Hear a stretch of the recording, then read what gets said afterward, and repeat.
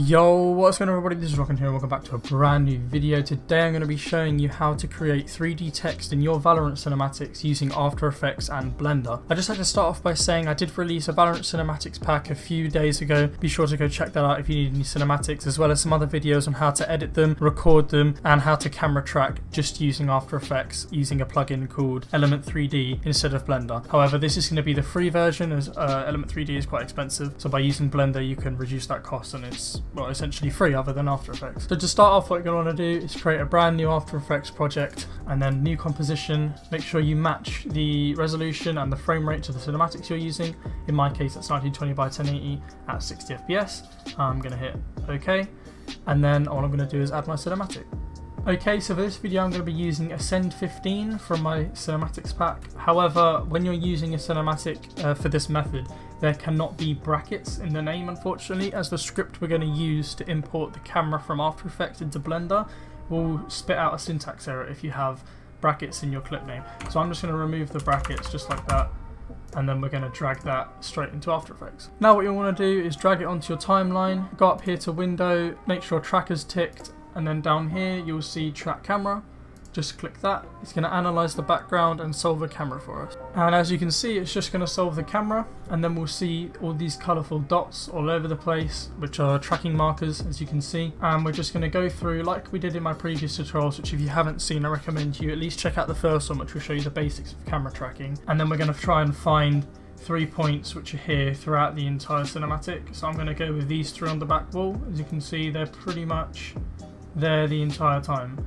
So I'm gonna select them like this, make the little triangle in the middle just by clicking in the middle of it, right click, hit create null and camera and then down here you can see we've got the 3D camera tracker. So this next step is going to involve you needing to download a script which is really really easy. All you have to do is go to this website which will be linked in the description, scroll down here to where it says Atom A to Blender 27 or 2.7. You're then going to click that, download it and then this should appear in your downloads folder which we're just going to extract and that's literally all you've got to do. So now that we've camera tracked it, we're going to go up to File, Scripts, Run Script File, and we're going to run this script. If you get an error message saying that it cannot run the script for any reason, come up to Edit, go to Preferences, down to Scripting and Expressions, make sure Allow Scripts to Write Files and Access Network is checked. Then File, Scripts, Run Script File, I'm going to select this script, hit OK, Call it whatever you want. I'm just going to call mine tutorial.py. Remember to have the .py at the end. Blender 2.7. It's going to automatically export to your desktop. However, you can browse and choose somewhere else if you wish. And I'm just going to hit export. And now that's done, we can minimize After Effects or close it, it's up to you. And then we're going to head straight into Blender. For this tutorial, you're going to need an older version of Blender. I believe the most current version is 2.82, and we're going to need 2.7 something. So in my case, I'm using 2.79. To download that, all you need to do is come over to the Blender Blender website, which will also be linked in the description. Go to where it says previous versions. Stable Blender 2.79b official release. If you're on Windows uh, and you have a 64-bit machine, click this one, Windows 64.msi, 32-bit this one, and then you've got your Mac and your Linux and all your other other versions on here as well. Now all you're going to do is click anywhere on the screen to remove this little window. Use the middle mouse button to scroll in and out and if you hold it you'll be able to pan around and then all I'm going to do is hold control and the right mouse button to select everything and press delete and yes. Now what you're going to want to do is come up to where it says default click this and go down to scripting then you're going to hit open find where it output your script so in my case that's on my desktop you can see it's here tutorial.py open text block and then run script. Now it's not going to look like much has happened, but if we go back to our default view, if you hold the mouse button and look around, you should, as you can see, there's a camera in the distance. Yours may be closer, mine's really far away. If you press zero on your numpad, that will bring you into the camera view. And if we hit play, you should see that the camera is now animated, just like it would be in After Effects. You can see it's flown past this plane if you watch it, just like this, you see? Now what you want to do is come into the camera view, make sure that your render and scene settings are set up properly, so your resolution 1920 by 1080 or whatever your cinematic is at, at 60 FPS. Then select the camera border by right clicking, come to this little camera option, and you'll see here under lens, clipping, change the end to some number, sort of like a billion, 10 billion, something like that, just a really big number. And then you're going to press N on your keyboard, see where it says view, change this end to a massive number as well. and that's just going to make sure that all the elements that we put on screen are going to stay on screen. Then you're going to come down where it says background images, check that, hit the down arrow, hit add image, and then change this to movie clip, uncheck camera clip, and open our cinematic that we used before. So in my case, that's just called Ascent. It was Ascent 15, but we removed the bracket, so I'm just going to hit open clip. And as you can see, now if we scrub through the timeline, you can see it as animated. It is quite laggy, but it is animated to the clip. Now what you're going to want to do is find the section in the clip where you want to put the text. So I'm just going to hit play, go through, try and find, so I want it to be roughly in this archway, so about here. So now what I'm going to do is press Shift A text, come out of the camera view by holding the middle mouse button and just moving around. Scroll out and I'm going to try and find where that text is, so in my case it's all the way over there.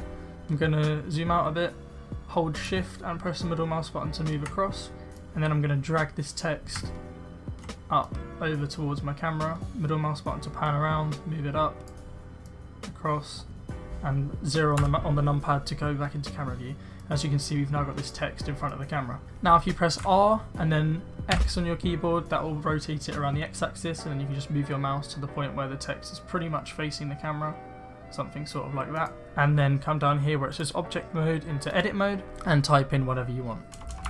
So in my case, that's going to be tutorial. I'm then going to press Control A to select everything. And on the right over here, under the text options, you can come down here to horizontal alignment to center vertical alignment to center.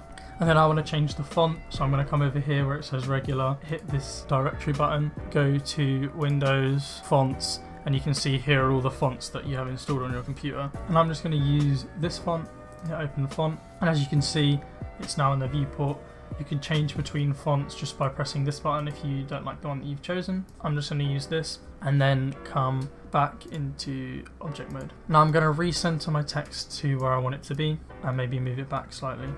You can either come out of the text and drag it how I just did or use this panel at the top where it says location, drag the X, Y and the Z. This is probably the better way to do it um, as you get a direct view from the from the camera port. And I'm just going to go through and try and make sure that it's exactly in the camera where I want it to be, so I want it to be further back. I'm going to increase the font size by quite a quite a significant margin, something sort of like that. I found what helps on positioning the text is if you add the extrusion and bevel beforehand, as it gives you a better, more of a presence in 3D space and is easier to position. So I'm going to extrude it by 0.5, which as you can see has sort of added this much more, much more thickness to it. Maybe I'll shrink it a little bit, maybe 0.3 go, I think I like that a little bit more. And then come to bevel where it says depth, and I'm going to drag that up a bit, something sort of like that, and max out the resolution. As you can see, we've now got this beveled text. I'm going to go back into the camera view, pressing zero on the numpad, and I'm just going to go through my cinematic. And as you can see, it's sort of, it's not quite where I want it to be. I want it to be a bit further back. So I'm going to drag the Y back, drag the Z up, rotate it a little bit more towards the camera, sort of like that. See how that looks. That's much better. So you can see it's now tracked to the inside of the of the archway, pretty much exactly where I want it. I do want to make it slightly bigger, so I'm going to increase the size slightly, but that will mean that I then need to push it back a bit further. There you go, something sort of like that. I quite like how that looks.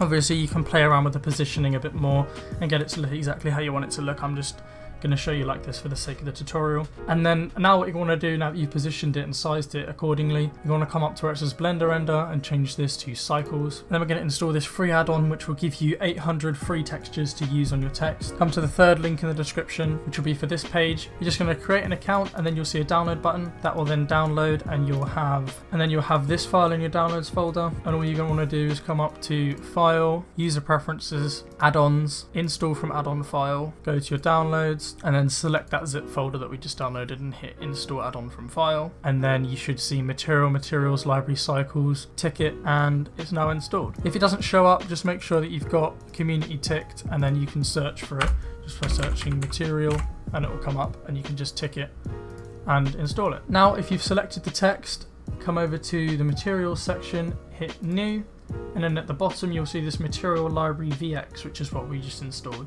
Now I recommend you do is you come down to where it says viewport shading, change it from solid to material and now you'll be able to see what material we apply. So if we go to select library all of these will have been added for you.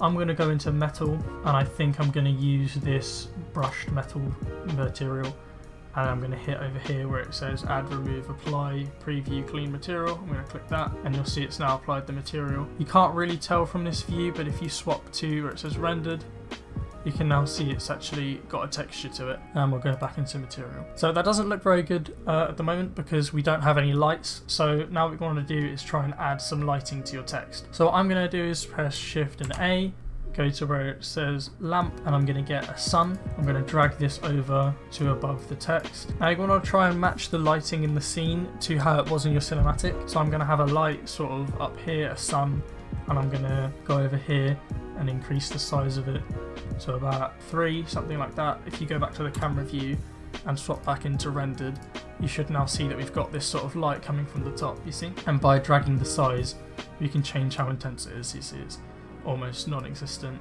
Drag it up to about 5 or so and it gets much much brighter. So I think I'm going to leave it around 6ish, something sort of like that, and then I'm going to come back out swap into material view again, shift A, lamp, and then I'm going to select a spotlight, drag it up, drag it across, hit R and X to rotate it on the X axis, point it towards my text sort of like that, Actually want it to come from a little bit higher, so something sort of like that will do, maybe down a little bit. Just sort of play around with it. Lighting will take time to try and make it look as accurate as possible, but worst case scenario, we can always fix it in After Effects if we need to.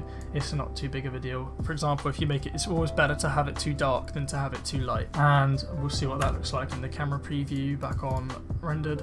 And I think that's looking quite good already. Might increase the size of it slightly, sort of like that and I think we're going to leave it there. Obviously, play around with it a lot more. You can cycle through materials, find one that suits your cinematic a lot better. I just sort of picked one from the top of my head. Uh, mess around with the lighting, try and match it to the scene a lot better. I'm just going to show you the, the basics, try and not overcomplicate it as best as I can. And there we go, just going to make sure that everything's good before we try and render it out. And then what you're going to do before we render it out is come to the point in time after the text disappears. So once you've flown through it, or just the end of the cinematic in general, depending on how much you have. But I'm going to wait until I get to the point where I've flown through it. So that's about, roughly about here I'd say. And then you're going to change, you see the start is 1, you're going to change the end to whatever this number is. So frame 295 is the frame where I've gone through the text. And there you go. So I'm just going to go back to frame 1. So you can see right from the beginning. And then I'm going to come over to on the right where it says output. I'm going to create a folder. So I'm going to go into, so I just made a folder called text where I'm going to save the rendered output of the 3D text that we just made. I'm going to hit accept and then come down here, select PNG, RGBA because we want transparency, compression to zero. I can leave the color depth at eight, that's perfectly fine. And then where it says film, you're going to want to make sure you tick transparent, come up to sampling and adjust the samples. The lower the amount of samples, the faster it's going to render. The more samples there are, the longer it's going to take to render, but it will be much higher quality. I'm just to put mine down to about 50 for the sake of this tutorial. Of course, you might want to render yours with more. And then all you're going to do is press Control and F12 and it's going to render out every single frame into an image sequence which we can then use in After Effects. Okay, so it's now rendered out every single frame. A quick tip for when you're rendering it, if you need to stop halfway through, you can always hit the X at the top. Um, and then when you come to render it again, go back to the previous frame that you got to by changing the start value down here. So if you just make a note of what frame you're at when you stop the render and then put that in at the start, it will then continue rendering from where you were before um, in case you need to take a break or something like that. So I'm going to minimize this. As you can see, everything has been rendered in here.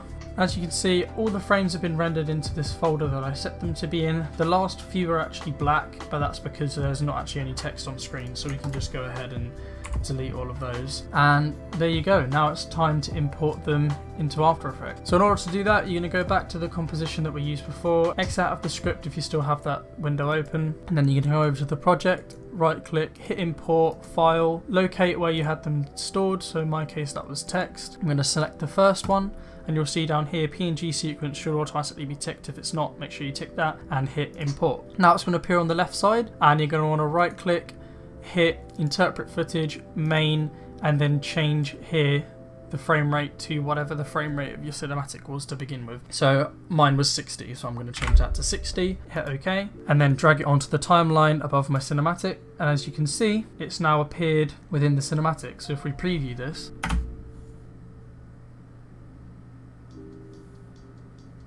you can see the text is perfectly tracked it's all looking good. It's where it was when we did it in Blender and it's looking perfectly fine. One thing I'd like to point out is you can see on the text there's all this noise and that's because we didn't have our samples set too high. Obviously you're going to want to set your samples when you render it a lot higher. That can be found just down here. I set mine at 50, you might want to set yours around 100 or so and tick square samples. Square samples will dramatically increase render time, but the quality should be a lot better. So it's really up to you, you just play around with it. If you want an in-depth video on how to use Blender for this sort of thing, you know, what settings to configure, how to camera track in Blender itself and things like that, make sure to let me know in the comment section below and I can definitely make that for you.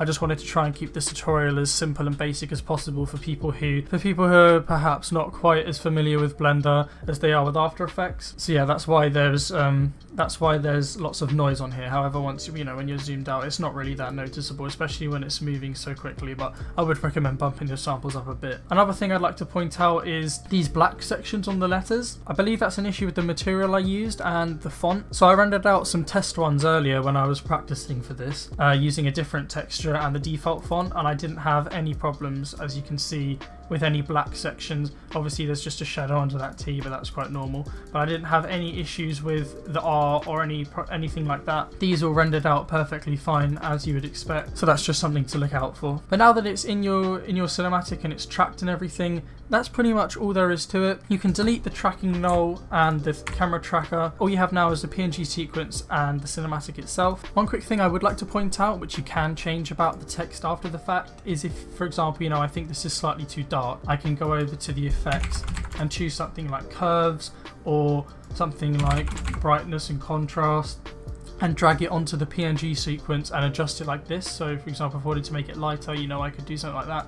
So obviously that's looking more chromy rather than the sort of grunged metal that it was originally, as well as increased contrast and things like that, just to make it look you know, slightly different if you did mess up with the lighting or something like that. That is always a possibility to fix afterwards. Just simple things like lighting, uh, color grading, things like that you can fix afterwards, but you want to make sure that you've got the majority of it right in the render itself. So that's pretty much all there is to it.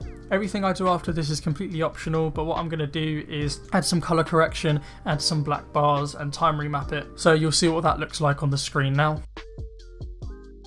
But yeah, that's pretty much it for this tutorial. If you have any questions, make sure to let me know in the comments section. Leave a like on this video if you found it useful and subscribe for future tutorials. Make sure you check out my cinematics pack and other tutorials all relating to Valorant montages in the playlist at the end of the video and also in the description. That's pretty much it. Thanks for clicking on the video and I'll see you in the next one.